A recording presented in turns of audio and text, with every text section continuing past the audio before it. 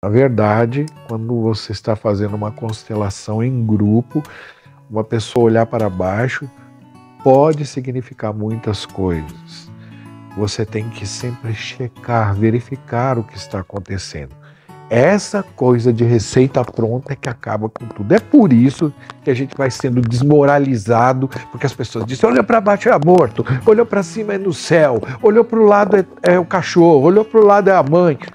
Para, não existe isso. Não existe olhou para baixo é morto, olhou para baixo é, é, é aborto. Não existe isso.